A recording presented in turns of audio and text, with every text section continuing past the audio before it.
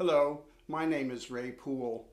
I'd like to share the information from my workshop presentation, Leverobics.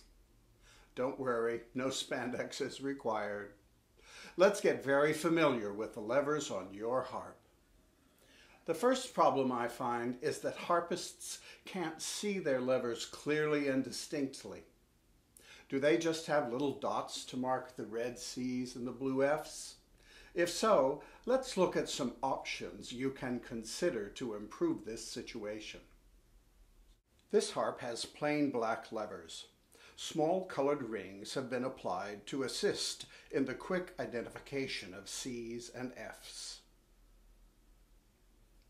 This harp also has plain black levers, but at my request, the manufacturer applied plastic shrink tubing to the appropriate levers for quick identification. This is a great help.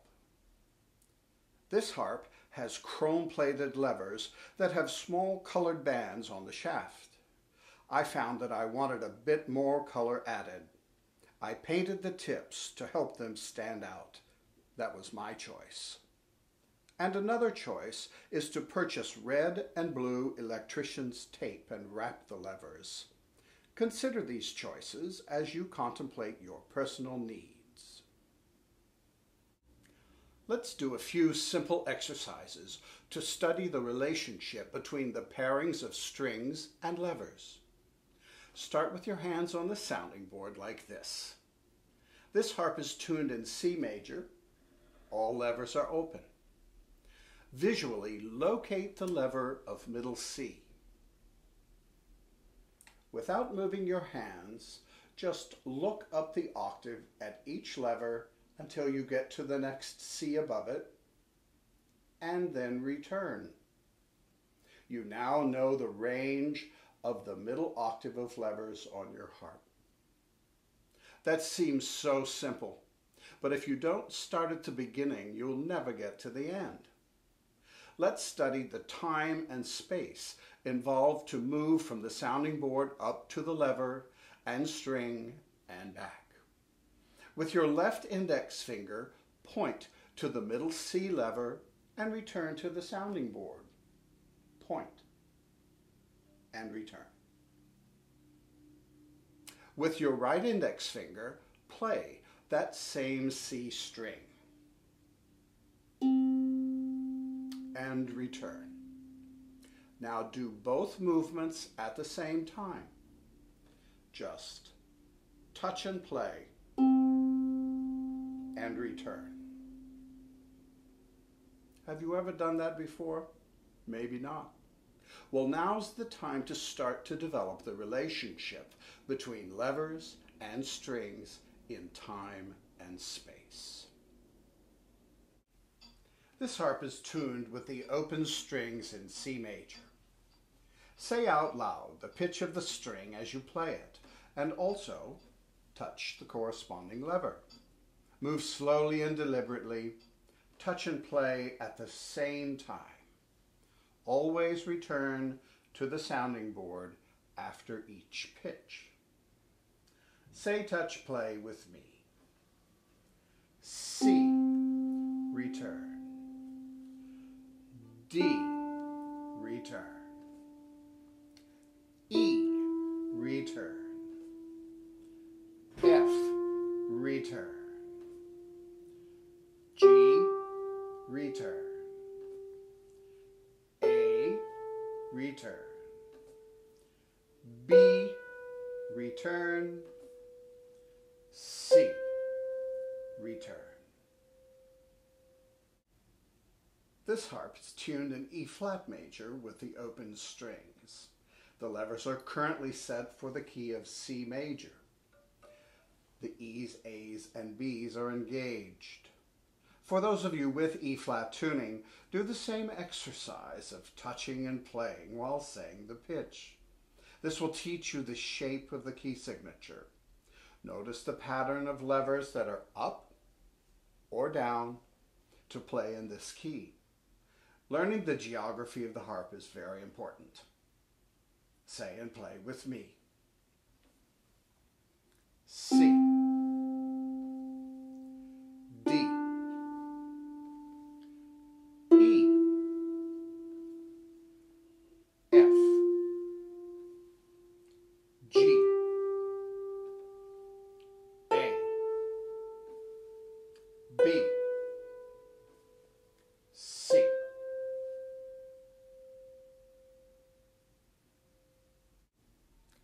From this point on, all exercises will be shown on harps tuned in E-flat, open strings, set to the key of C major. Don't worry, we can still play together as long as you are in C major. Let's practice a more complex exercise, combining lever movements and playing, finally returning to the sounding board. Notice how I stop the sound of the string before moving the lever. Keep the left hand on the lever until you have completed each part of the exercise.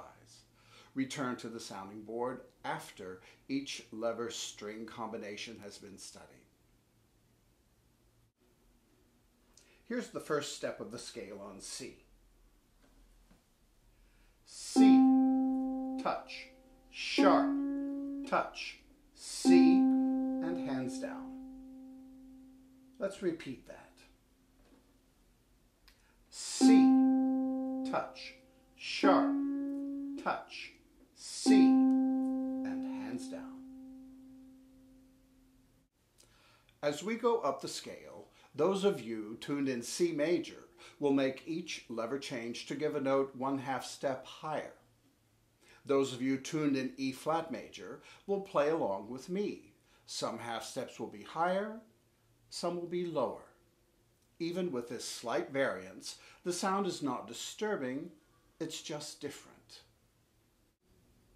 Let's play this study in half steps on each step of the scale for a full octave, one note at a time, returning to the sounding board after each string. Beginning on C. C, touch, sharp, touch, C, down.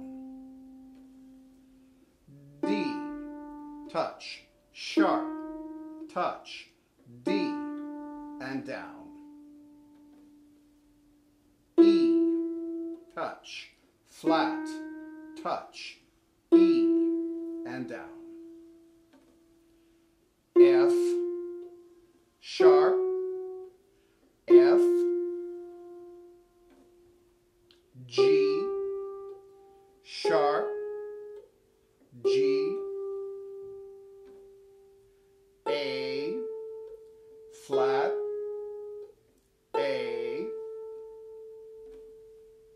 B, flat, B, C, sharp, C, and finish. By now, your hands should be more comfortable with going to the same string and lever simultaneously. If you're in need of more practice with this, I suggest that you stop the video and practice what we've just done. If you pay attention to the most fundamental elements, you will progress. Now let's find the pairs of strings and levers of the same step of the scale, but in multiple octaves. This is a 36 string harp tuned in E flat major open strings. It's currently set for the key of C major with all E, A, and B levers engaged. With my left hand only, I will touch the levers of every C from the bottom to the top of the harp. Now many people may not be able to reach the very lowest octave easily. If so, just point to that one and then begin touching the C lever an octave below middle C. Touch the lever and say C six times, always returning to the sounding board. If you have a 36 string harp, or touch your lowest C string and continue up the harp on smaller instruments. Remember, always return to the sounding board. Left hand only, touch and say. C, C, C, C, C, C. Did you ever do that before? Now let's play the corresponding strings at the same time we touch the levers. Then return to the sounding board. that lowest octave may be pretty low for you. You might not be able to reach it. So if that's the case, just look at it and then join in an octave higher. Say while simultaneously touching the levers and playing the strings, then returning to the sounding board. C, return. C, return. C, return. C, return. C, return. C, return. For our final exercise, covering the entire range of the harp, let's do the three-note lever movement we studied before on each C, starting at the bottom of the harp and going all the way to the top. If you can't reach the lowest pair, then just join in on the next octave. And we have C, touch, sharp, touch, C, and return. C, touch, sharp, touch, and return. C, sharp, C, and return. C, sharp, C, and return. C, sharp, C, and return. C, sharp, C, and return. Continue on all the other steps of the C major scale, all of the Ds, all of the E's all of the Fs, G, A, B, moving from one octave to another.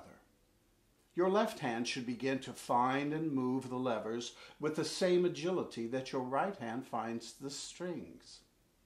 Please watch my video Ain't Misbehavin' to see these movements in action. There's a link to it in the information paragraph below this screen. Start at the beginning, you'll get to the end. Thanks for watching.